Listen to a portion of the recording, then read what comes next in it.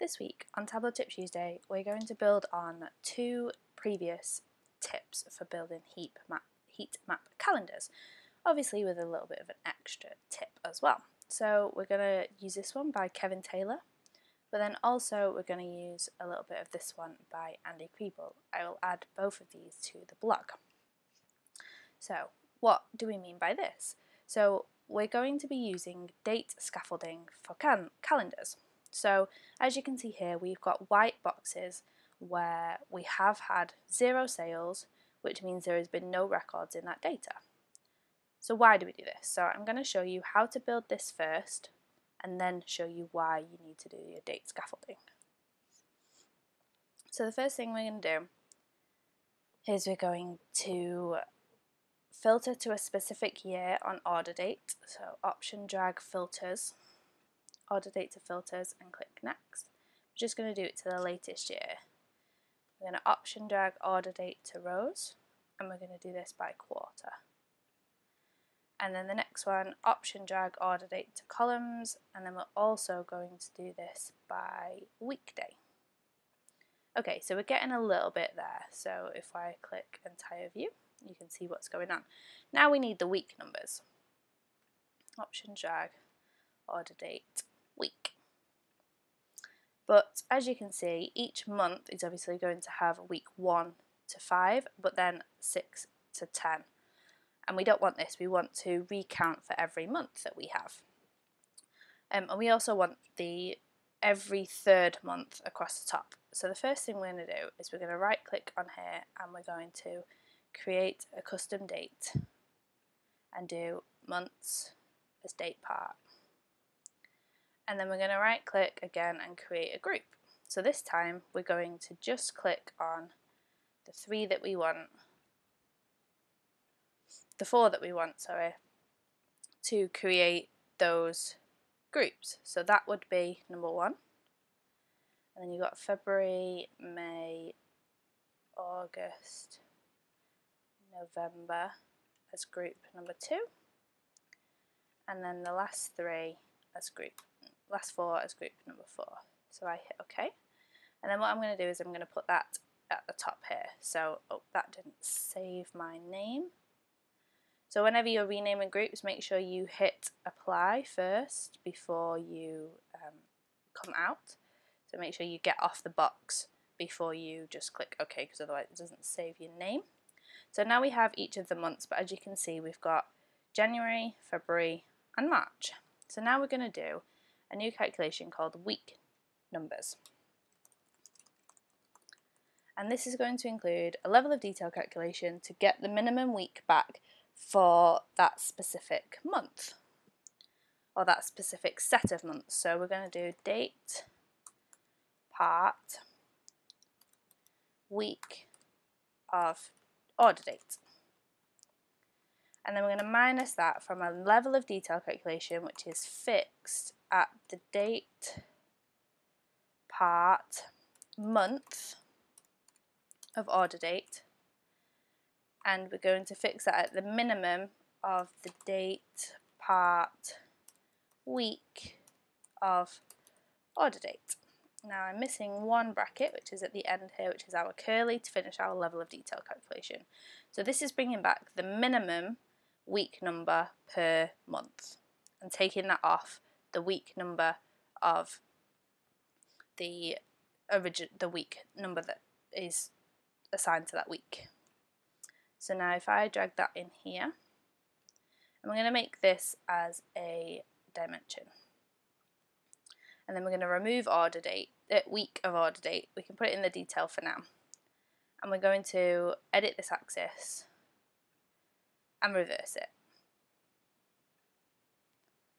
Okay, so, and we're just going to edit again and make sure that it's fixed at minus 2.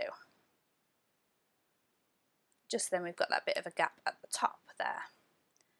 Now, what we're going to do here is we're going to add the average number of records onto size. And as you can see, each box is getting its own um, its own section, but we have some gaps. So first off, I'm just going to make this big, but then we're going to add a border of grey, and then we're going to put sales onto colour. Okay, but then what we want to do as well is we want to add order date of label as um, day. So we still get that day in there. So we want to allow overlapping middle top. No, middle, middle. I'm just going to right align it. Okay, so as you can see, we're getting a little bit closer, but we're missing 4 and 5. What's going on there? Now, this is where that date scaffolding will come in nicely. So the first thing we're going to do is we're going to go to Analysis, Table Layout, Advanced, and then tick this, untick this box, which will allow your weekdays to go across the top. And now we're just going to format those so that it is the abbreviation. And we're going to unhide this header, eh, hide that header, hide that header. And then the final thing we're going to do before I do the date scaffolding is the month number, the month name, which is what Andy Kriebel showed you. So now what we need to do is we need to create a calculation here called month label.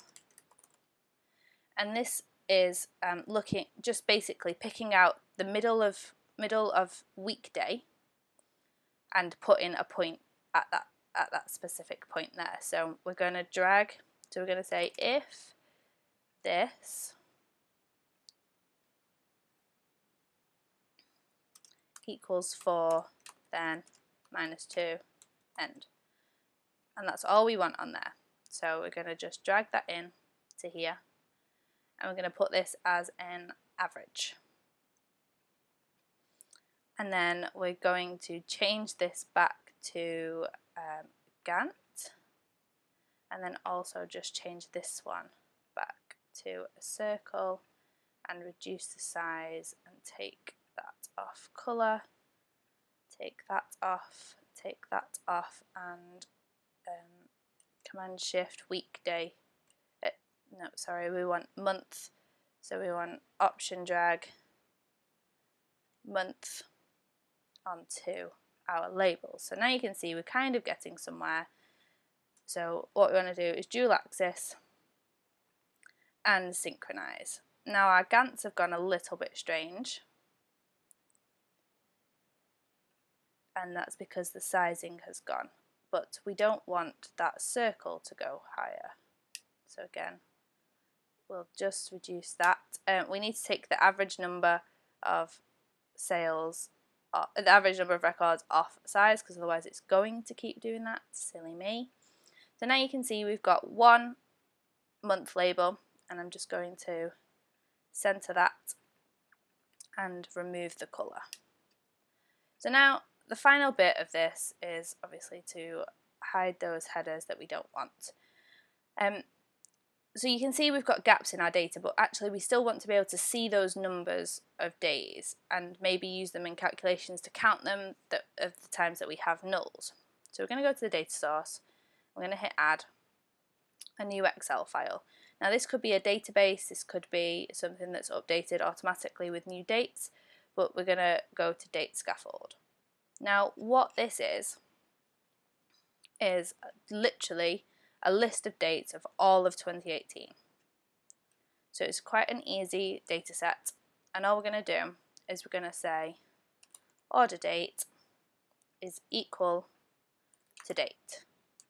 But then we're going to do a full outer join. So it gets both sides of the data set. And um, it also brings back those as nulls. So now Nothing has changed, but that's because we're still using order date, and those order dates will now be null for the ones that we're missing. So what we're going to do is we're going to replace the references. Hit right click, hit replace, and then change it just to date, and hit OK. Now you can see that we've got our numbers back, which is great, but we've got some issues here as it looks like we still have sales there when we don't. So we're going to create a new calculated field called actual sales. And then if um, is null sales, then we're going to put it to minus 1, else sales. End. Okay, and then we're going to again right click on sales, default um, replace references, and then just replace it with actual sales. So now we're getting a little bit better here.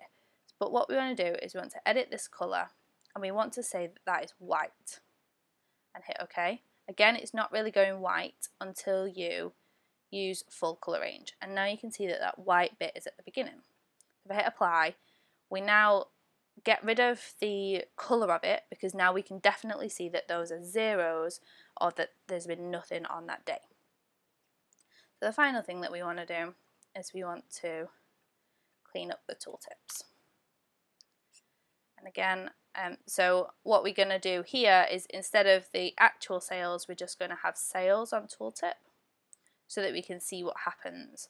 And then if you right click on the sum of sales and format, we want to go to the pane and change this to a zero so that we can see that it's got zero sales on there.